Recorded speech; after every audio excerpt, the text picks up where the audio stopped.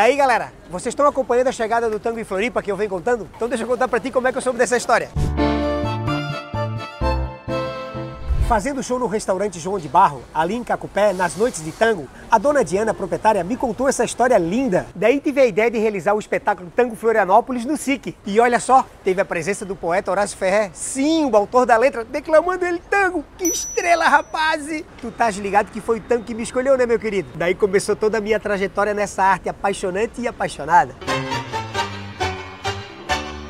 segui estudando. E nas minhas idas a Buenos Aires, conheci um casal top, Oswaldo Soto e Lorena Hermocida, e trouxe eles para ministrar um workshop na minha primeira academia aqui na Conselheiro Mafra, onde ficava o antigo Jornal Estado. Daí tivemos a ideia de criar o primeiro festival de tango do Brasil, vindo grandes nomes do tango para Floripa.